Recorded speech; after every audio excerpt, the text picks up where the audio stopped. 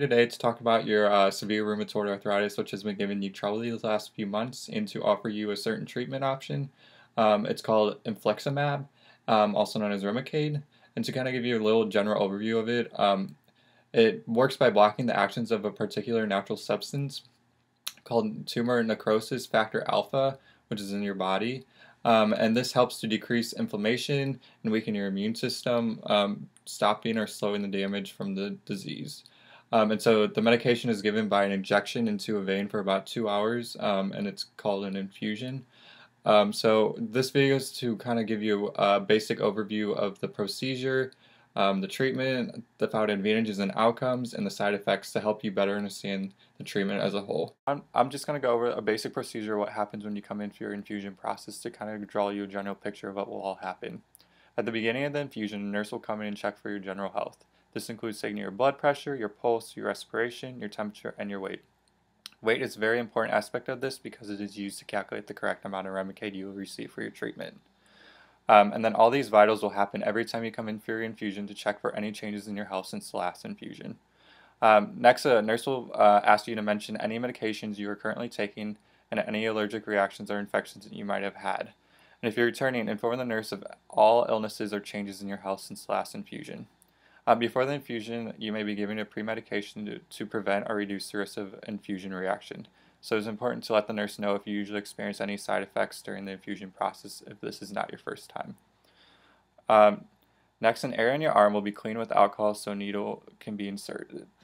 Um, a needle is used to start the IV and is removed when the IV tubing and bag of your Remicade are connected at the IV site. Um, the medicine is then infused for two hours in which um, during the infusion the nurse will come in and check periodically to um, monitor your infusion. If you experience any side effects or um, during the infusion, it may need to be adjusted or stopped. At the end of the treatment, the IV will then be removed and you should be able to return to your normal routine if your doctor says it's okay.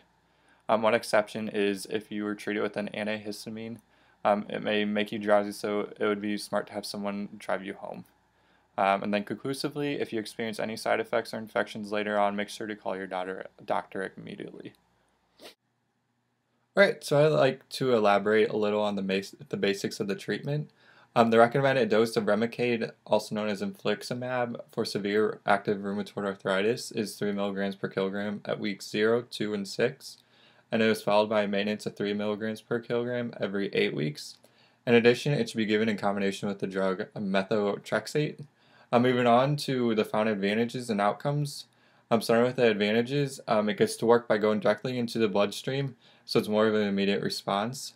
Um, also, dosing varies by condition, but you may only have to receive the treatment once every eight weeks um, after three starter doses, so it's relatively low maintenance.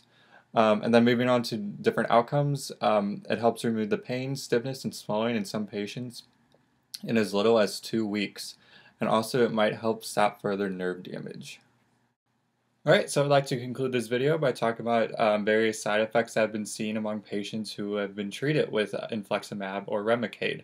Uh, the more common side effects with Remicade are respiratory infections, including sinus infection and sore throat. Um, in addition, headache, rash, coughing, and stomach pain are also common side effects of the treatment.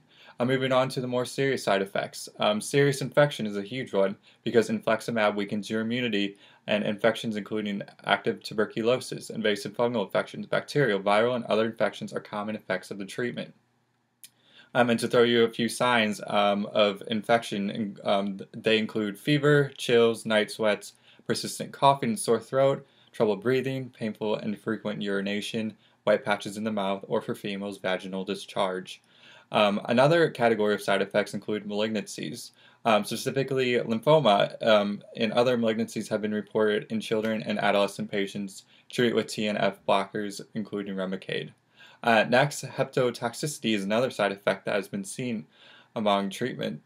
Um, this includes severe hepatic reactions, including active liver failure, jaundice, hepatitis, and cholestasis have been reported rarely in patients receiving Remicade.